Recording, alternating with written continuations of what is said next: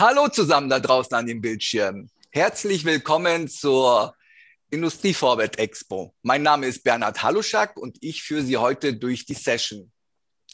Mein heutiger Gast ist Martin Kipping, Abteilungsleiter Data Center bei Rital. Hallo Martin, grüß dich. Hallo, grüß dich Bernhard. Herzlich willkommen. Ja, danke. Du hast ein spannendes Thema für uns im Gepäck. Und zwar lautet das, wie Edge-Plattformen Echtzeitanwendungen in Industrien ermöglichen. So, das wäre erstmal von meiner Seite alles. Ich werde jetzt an Martin übergeben. Martin, das ist jetzt dein Turn. Leg bitte los. Okay, vielen Dank. Ja, äh, vielen Dank, Bernhard, für die, für die nette Einleitung. Äh, herzlich willkommen auch von, von meiner Seite bei der Industry Forward Expo. Und ja, freue mich, heute hier zu sein und äh, allen kurzen Einblick über die Möglichkeiten mit, mit Edge-Rechenzentren in der, äh, in der Industrie geben zu können. Ähm, was ist das übergeordnete Thema? Das, das übergeordnete Thema und der übergeordnete Treiber ist natürlich das Thema Digitalisierung. Und äh, in der Industrie ist es äh, in der Regel die, die Vernetzung von Maschinen zu Maschinen. Ähm, wir sehen, dass in, in 2020 schon 12,2 Milliarden Maschinen miteinander äh, weltweit verbunden waren. Und äh, man sagt voraus, dass bis 2025 mehr als 34 Milliarden Geräte weltweit mit dem IoT, dem Internet of Things, verbunden sind.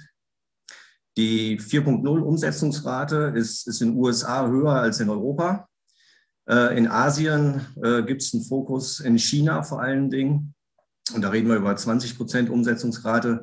Das große Thema ist aber einfach, dass, dass 70 Prozent der Daten, die entstehen, äh, noch ungenutzt sind.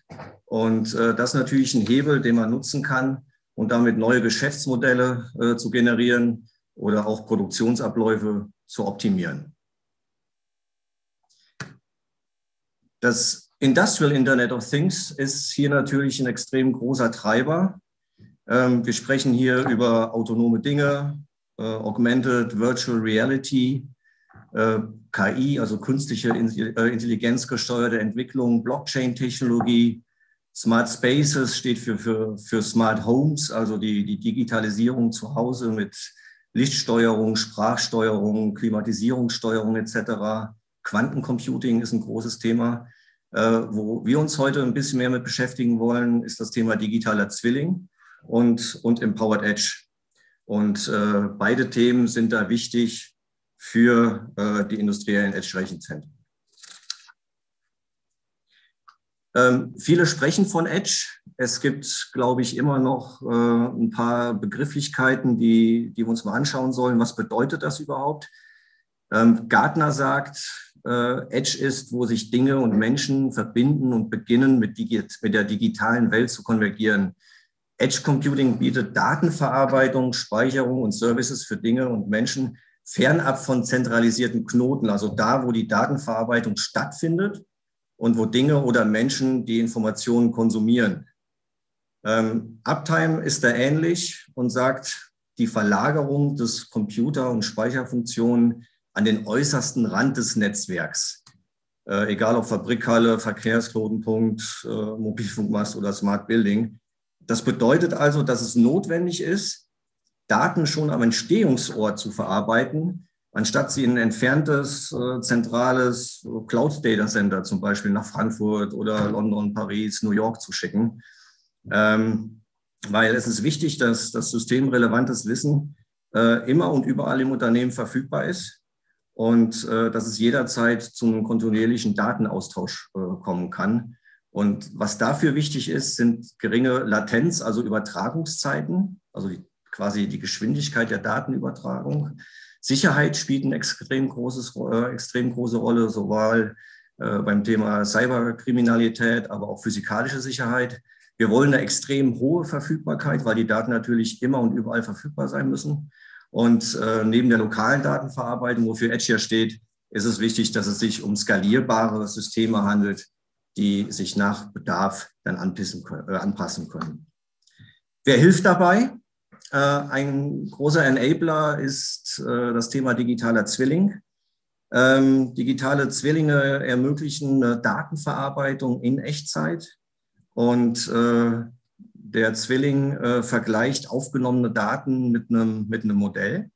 Und das kann jetzt ein Zwilling für ein Produkt sein, äh, zum Beispiel in der Produktentwicklung, äh, in der das Produkt mit Prüfmerkmalen oder Simulationen verglichen und optimiert wird.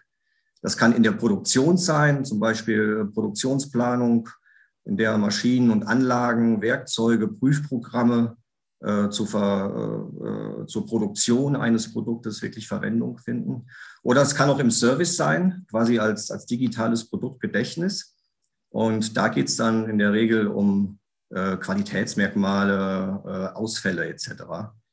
Ähm, digitale Zwillinge helfen also äh, zu optimieren bezüglich Materialverbrauch, Prozesse, Kosten, Produktionssteuerung etc. Das Thema digitaler Zwilling wird auch im Service viel äh, diskutiert. Ähm, wenn wir uns die Zahlen angucken, äh, 84 Prozent diskutieren das Thema, nur 25 Prozent der Anwender oder unsere Kunden packen es wirklich an. Man sieht da noch einen relativ hohen Implementierungsaufwand äh, und das scheint äh, die, die größte technische Herausforderung zu sein. Dennoch ähm, befassen sich 25 äh, Prozent der Kunden mit dem Thema.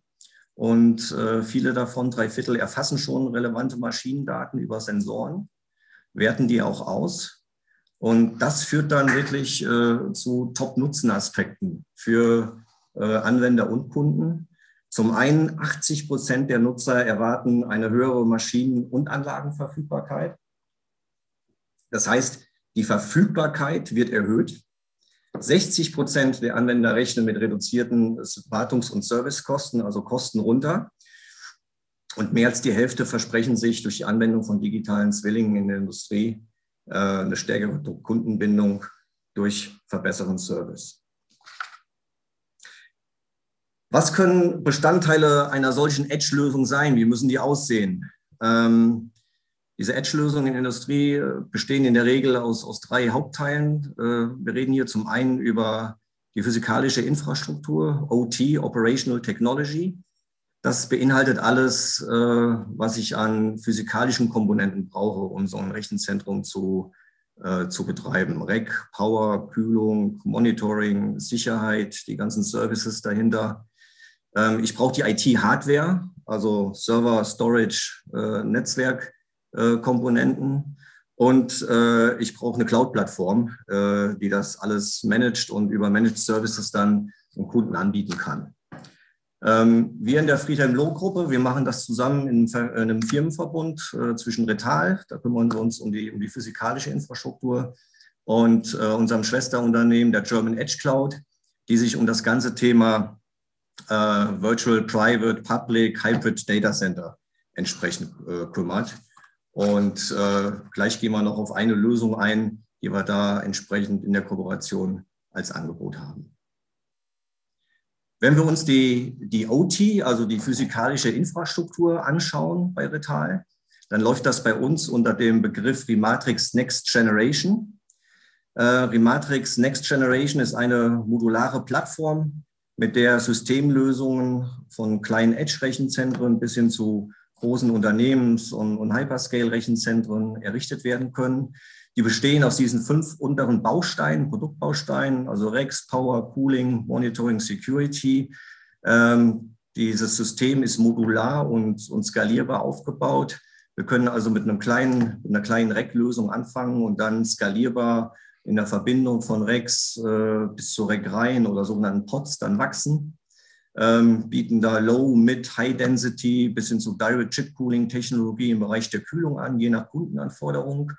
Und wir kombinieren diese Produkte entsprechend mit unseren Services, die wir brauchen, um so ein Edge-Rechenzentrum zu planen und zu bauen. Also das ganze Thema Engineering, Project Management, die Inbetriebnahmen, äh, Wartungsthemen, SLAs mit Kunden, haben aber auch den ganz, ganz großen Vorteil, dass wir nicht nur unsere eigenen Lösungen da verwenden können, sondern auch Third-Party- und, und Partnerprodukte in dieser äh, offenen Plattform mit, äh, mit integrieren können und erreichen dadurch dann die größtmögliche Modularität und Skalierbarkeit in so einem Edge-Rechenzentrum.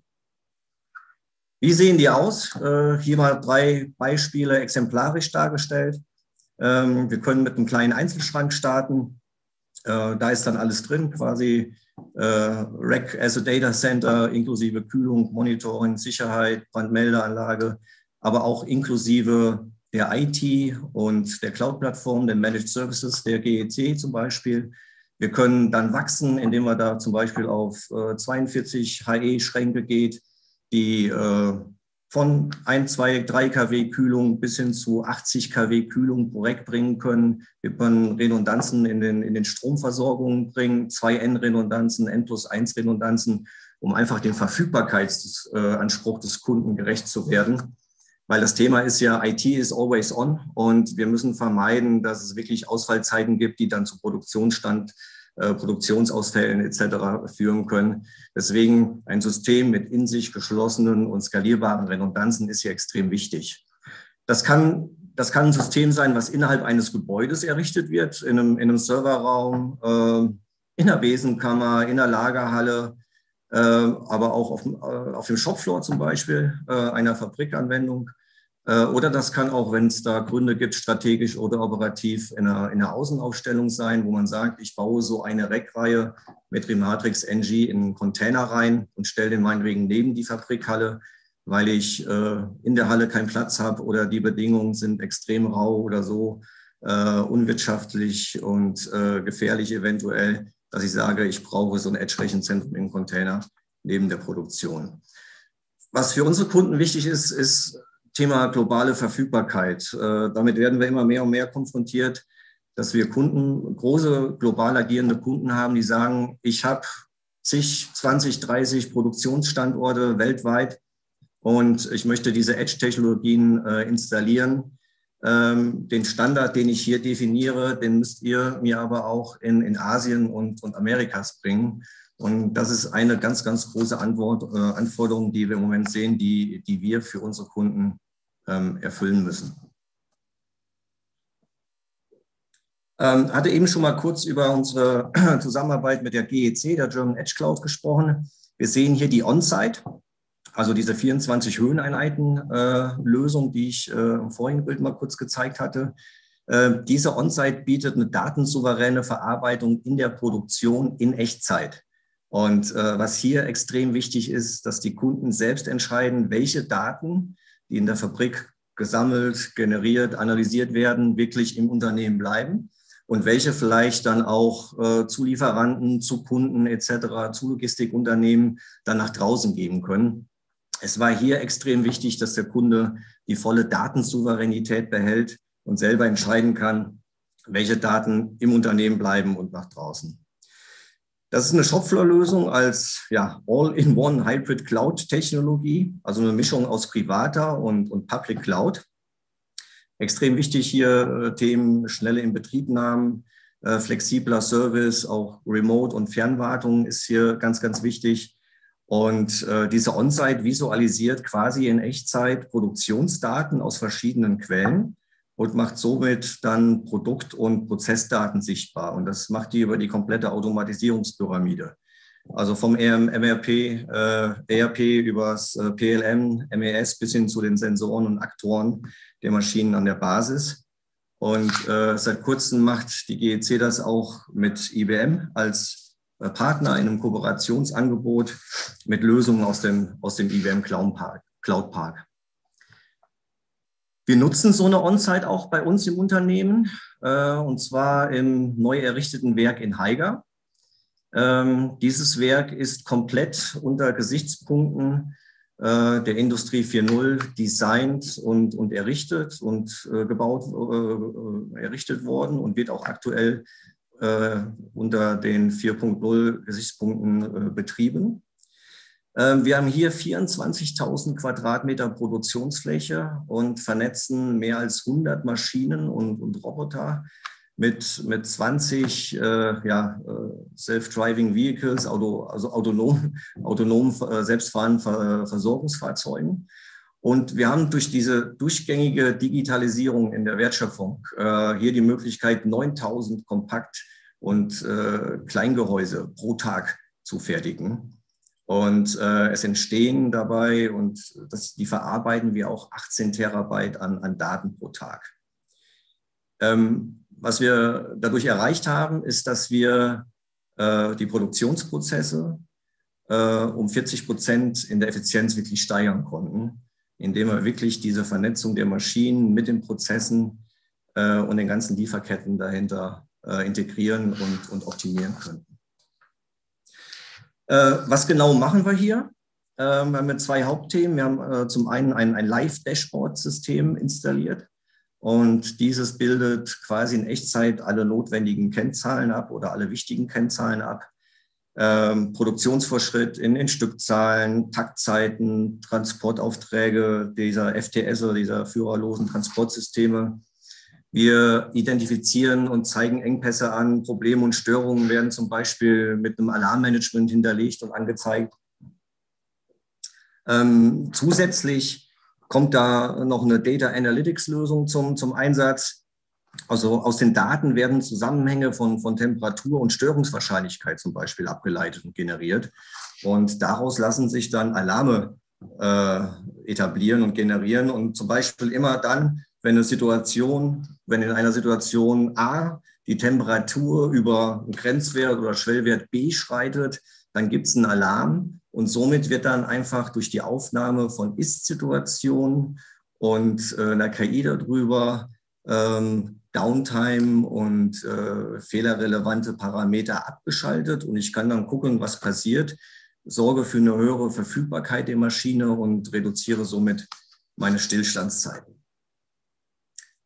Wir machen das nicht nur innerhalb der Friedhelm Loh Gruppe mit Rital und GEC, sondern wir machen das auch mit, mit globalen Partnern in unserem IT-Lifecycle.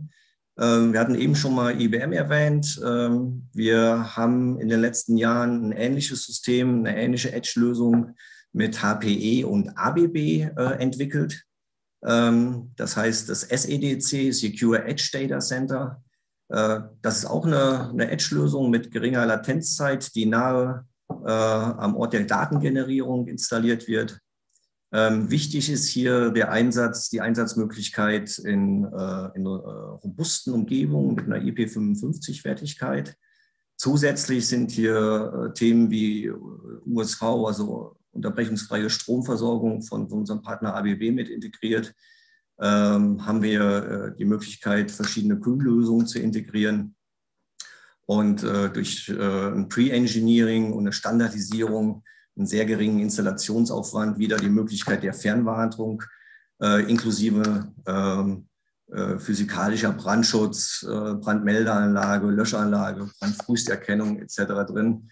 Also ein Paket, was wir global einsetzen mit unseren Partnern. Ein Beispiel hier ähm, in, einer, äh, in, einem Zentrallager, Logistiklager äh, ABB in, in Schaffhausen in der Schweiz. Ähm, Sie können hier auf der linken Seite äh, die Situation vor dem Einsatz eines SEDCs sehen. Äh, wir haben eine gewachsene Struktur, wie wir so häufig anfinden, äh, antreffen. Ähm, so ein bisschen Bastellösung, Rack mit fliegender Verkabelung, eine unzureichende Klimatisierung. Ich glaube, der Zugriff war auch nicht richtig geregelt. Teppichboden im, im Serverraum drin. Und dadurch, dass der Kunde ABB hier diese Lösung installiert hat, konnte er seine CAPEX-Kosten und OPEX-Kosten reduzieren. Wir reden hier bei CAPEX um ca. 30 Prozent gegenüber einer konventionellen Lösung. Wenn ich die konventionell mit Gipskarton, Stein auf Stein, Beton etc. baue, äh, Betriebskosten aufgrund der Energieeffizienz des Systems gingen um 20 Prozent runter. Und dadurch geht natürlich die Sicherheit und, und die Verfügbarkeit hoch. Der Kunde skaliert jetzt dieses System. Äh, aktuell bauen wir in, in, Heidelberg und Ladenburg äh, so eine Lösung auf, aber auch in Asien. Da kommen wir wieder zum Thema globale Verfügbarkeit und Standardisierung. Also in Shanghai im ABB Robotics äh, Zentrale wird aktuell so eine Lösung auch aufgebaut. Ähm, ich glaube, letzte Folie schon und ich sehe, ich bin fast in Time. Ähm, wir hatten nur über eine kurze äh, kleine Lösung gesprochen, 24 Höheneinheiten äh, mit der GEC als On-Site, ein SEDC, wo wir über 42 Höheneinheiten, verkettete Racks sprechen. Hier ein Beispiel für ein Edge-Rechenzentrum mit einem Container. Äh, Kunde, glaube ich, jedem bekannt, ThyssenKrupp Steel in Duisburg, 27.000 Mitarbeiter, führender Anbieter von, von Qualitätsflachstahl. Und da war die, die Herausforderung, dass äh, im Rahmen der Digitalisierung äh, für die prozess- und produktionsnahen äh, Prozesse eine sichere Infrastruktur benötigt wurde. Äh, es gab ein hohes Datenaufkommen, wir brauchten aber eine schnelle Verfügbarkeit mit kurzen Latenzzeiten. Äh, und im Rahmen der Automatisierung der Produktions-IT äh, kam der Kunde auf uns zu und wir hatten ja, Edge-Rechenzentren containerbasiert mit ihm entwickelt, weil es war klar, bei ThyssenKrupp konnte kein, kein Edge-Rechenzentrum in der Produktion stehen. Es musste neben der Produktion stehen, produktionsnah. Und Kunde hat sich dann hier in eine redundante oder für eine redundante Lösung containerbasiert entschieden. Und ich glaube, wir haben mittlerweile fünf Standorte in Nordrhein-Westfalen mit diesen standardisierten Containerrechenzentren, äh, die bei uns im Werk vorgebaut, vorengeniert und vorgetestet worden sind, äh, den Kunden geliefert. Und äh, die Rechenzentren sind aktuell alle im Betrieb und im Service. Also hohe physikalische Sicherheit, standardisiert, nahe der Produktion mit ganz, ganz kurzen äh, Produktionszeiten, die dann auch eine geringe Latenz entsprechend äh, gewährleisten. Ähm, ja, ich glaube, äh, das, äh, ja, das war meine letzte Folie. Ich hoffe, ich konnte Ihnen äh, einen kurzen Einblick über industrielle Edge-Rechenzentren vermitteln. Kurz zusammengefasst bieten diese in der Industrie die Möglichkeit, Daten schnell zu sammeln und zu verarbeiten, zu analysieren und dadurch Produktionsabläufe zu optimieren und sicher zu gestalten. Äh, was dafür notwendig ist, ist eine sichere Infrastruktur äh, auf physikalischer Hardware- und, Software- und Betriebsbasis und ähm, am besten äh, skalierbar und global, weil die Kunden immer mehr global und vernetzt denken und wir diese Lösung, die wir hier in Deutschland generieren, aber auch in Nord-Südamerika Asien, Australien und, und auch Afrika für unsere Kunden liefern müssen. Ähm, ich hoffe, äh, es hat Ihnen einen guten ersten Eindruck gegeben. Stehe, wie Bernhard gesagt hatte, ganz gerne zu Fragen jetzt, aber auch später im Meet the Speaker nochmal zur Verfügung. Und äh, ja, bedanke mich für Ihre Aufmerksamkeit. Und wenn Fragen sind, äh, würde ich äh, ja, gerne zur Verfügung stehen, die jetzt zu beantworten. Vielen Dank. Ja, vielen Dank. Vielen Dank, Martin, für den spannenden Einblick in die Welt der Edge-Rechenzentren. Nochmal der Hinweis an unsere Zuschauer, genau, wenn ihr Fragen stellt, bitte nutzt das Textfeld oben rechts, dann können wir hier diese Fragen diskutieren. Ich schaue mal rein. Ja, Martin, da ist schon eine Frage aufgepoppt, die da lautet, das Thema Edge Computing wird schon länger propagiert. Sehen Sie hier nun einen deutlichen Aufwärtstrend? Also gute Frage. Ähm, ich glaube, wir hatten seitens Retal das Thema Edge Data Center schon auf einer der letzten CeBITs, ich glaube, das war 2016 oder 2015, äh, gezeigt, äh, unter dem Slogan Discover the Edge. Also der Trend ist schon länger da. Ähm, der ist auch weiter am Wachsen, kam in den letzten Jahren nur nicht so stark, wie der erwartet worden ist. Ähm, wir glauben, dass das damit zu tun hängt, dass das Thema schon sehr komplex ist. Wir reden hier über physikalische Infrastruktur, wir reden hier über Hardware, wir reden hier über Betrieb, wir reden hier über Thema Fernwartung, wir reden hier über das Thema Datensouveränität. Auch da sind wir uns, glaube ich, in Europa, in Deutschland noch nicht ganz, noch nicht ganz klar. Geben wir Daten in die Cloud? Äh, welche Kontrolle will und muss ich über meine Daten haben? Das sind alles Themen, die da mit reinspielen. Äh, wir sehen aber auch durch, durch die Gründung und die Verschmelzung in der, in der German Edge Cloud, dass das ein extrem wichtiges Thema ist, weil äh, unsere großen Kunden auch in der Automobilindustrie, äh, da reden wir über viele Proof of Concepts, das Interesse ist da. Und das ist ja auch nur ein Teil von Edge-Rechenzentren in der Industrie. Ähm, wir sind dann natürlich gut aufgestellt aufgrund äh, unseres äh, industriellen Kundenstamms. Aber das Thema geht in alle anderen Bereiche, in die Colos, in die Enterprises, äh, in die Hyperscaler, die auch Edge-Rechenzentren jetzt in Hyperscaler reinbringen, mit rein. Es wird kommen. Es ist langsamer gewachsen als erwartet. Aber äh, die Datenflut steigt. Die Daten müssen verarbeitet werden. Und es wird sich, glaube ich, eine Mischung etablieren zwischen Edge und, und Cloud-Rechenzentren. Ja. Ja, danke. Äh, Du hast uns aufgezeigt, wie ein Edge-Rechenzentrum aufgebaut ist. Und in eine etwas andere Richtung geht folgende Frage, beziehungsweise in die Planung davor.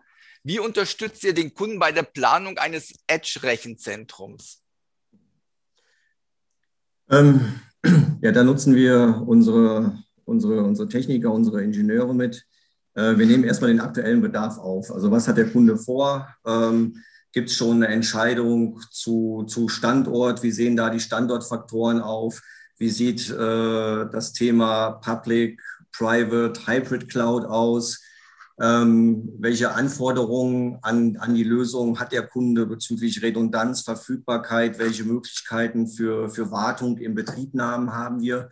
Also wir fangen da quasi mal mit ganz weiten Leitplanken an und gehen dann über eine konzeptionelle Phase, in der Entwurfsphase, Detailphase, stimmen da verschiedene Konzepte mit Kunden ab und entwickeln somit die Lösung von der technischen und von der, von der Optimierungsseite immer detaillierter, bis es dann später in der Realisierung geht. Ja, klassische Themen ist der Standort, welche Wärmelast, welche Anforderungen an die Stromverfügbarkeit, ähm, möchte das nur in Deutschland, in Europa oder global haben? Äh, wie sehen SLAs aus? Äh, welche Reaktionszeiten brauchen wir? Ähm, wenn wirklich mal ein Fehler auftritt, reicht dir da der nächste Tag oder müssen wir innerhalb von vier Stunden beim Kunden sein?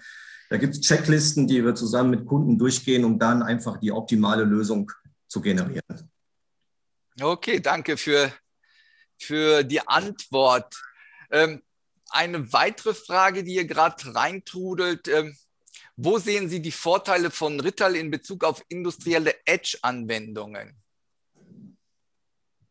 Ähm, also ein großer Vorteil, den hatte ich glaube ich eben schon mal erwähnt. Rittal hat einen extrem großen Kundenstamm in der Industrie. Ähm, also wir liefern da Schaltschränke, Klimatisierung an unsere industriellen Kunden. Und dadurch, dass wir jetzt auch die Möglichkeit haben, äh, IT-relevante Services und Lösungen anzubieten mit Retal, dieser physikalischen Infrastrukturplattform äh, und der Möglichkeit mit der German Edge Cloud oder unseren Partnern HPE und IBM und ABB in diesem Solution Stack auch einen Mehrwert für den Kunden zu bringen, indem wir über Server Storage Network sprechen, aber auch über die Cloud-Plattform und die Managed Services dahinter. Äh, glaube ich, gibt es global ganz, ganz wenige Unternehmen, die Kunden in dieser Breite wirklich äh, helfen können und äh, gemeinsame Lösungen für den Kunden entwickeln und auch liefern können. Also Schmelzung zwischen Industrie und IT plus die Kompetenz bei der IT über OT und Hardware und Services zu sprechen, glaube ich, ist schon ein Fund, was wir da in die, in die Waagschale werfen können. Plus unser globaler Footprint, also mit unseren Produktionsstätten in, in Asien, Europa und Amerikas sind wir so aufgestellt, dass wir auch wirklich lokal nah am Kunden sind und dann auch zum Beispiel kurze Liefer- und, und Reaktionszeiten einfach gewährleisten können. Und das können nicht viele Unternehmen. Das ist Rital eins von ganz, ganz wenigen. Du hast eben Cloud-Services angesprochen, beziehungsweise die Cloud, die ein Edge-Rechenzentrum benötigt. Dahin tendiert auch die nächste Frage kann ich meine eigene Cloud nutzen oder bin ich auf die Rittal Cloud angewiesen? Meine Kunden können auch ihre Cloud nutzen. Wir haben da verschiedene Möglichkeiten. Wir können ja zum einen äh, die Infrastruktur als Plattform liefern. Ähm, wir könnten auch, wenn wir in den Solution Stack gehen, äh, die IT noch liefern, also die Server, Storage, Network liefern. Und wenn der Kunde dann seine eigene Cloud-Plattform da drauf packen möchte, dann geht das auch. Also da sind wir äh, skalierbar und wenn der Kunde schon eine eigene Lösung hat, kann die jederzeit auf diese Lösung natürlich adaptiert werden. Ja, danke. Ja, jetzt kommen wir auch langsam zum Schluss unserer kleinen und kurzen QA-Session. Deshalb zum Abschluss noch die Frage, welche genauen Anforderungen haben Kunden an die Infrastruktur der Edge-Lösungen? Ähm, das, glaube ich, auf einer Folie war das Thema Verfügbarkeit, steht ganz oben. So, IT muss 24 Stunden am Tag da sein. Das merken wir, wenn, wenn das WLAN mal nicht da ist und ich auf Social Media nicht gehen kann oder auf meinem Bankaccount nicht draufkomme. Thema Echtzeitfähig ist, ist ein wichtiges Thema. Also Latenzthemen müssen wir uns angucken, nahe da, wo die Daten generiert werden.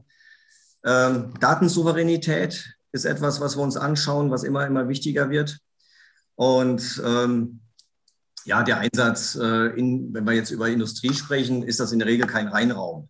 Äh, das sind schon rauere Umgebungsbedingungen, wo es Erschütterungen gibt, wo es vielleicht Temperatur, feuchte Themen gibt. Also die Infrastruktur, auf der die, IT, auf, die, auf der die IT betrieben wird, die muss schon so ausgelegt sein, dass sie auch ausfallsicher ist und auch, sage ich mal, so rauen Umgebungsbedingungen her standhält. Äh, das ganze Thema Redundanzen etc. läuft dann ins Konzept mit rein und wird dann damit dann äh, wirklich ähm, abgehandelt und auch, auch sichergestellt. Ja, das sind für mich so die, die Hauptthemen dabei. Fernwartung vielleicht noch. Ähm, wenn ich wirklich diese verteilten Edge-Rechenzentren habe, äh, muss man sich anschauen, ob ich da jeweils äh, einen eigenen Techniker oder hinschicken muss oder die auch wirklich vorhalten muss oder ob ich wirklich auch ganz, ganz viele Themen mit einer Fernwartung remote-mäßig vielleicht schon lösen kann. Also das wären so Themen, die uns wichtig sind, die wir mit dem Kunden besprechen, wenn es um das Thema Edge-Rechenzentren geht. Okay. Ja, vielen Dank, Martin, für die äh, detaillierten Antworten.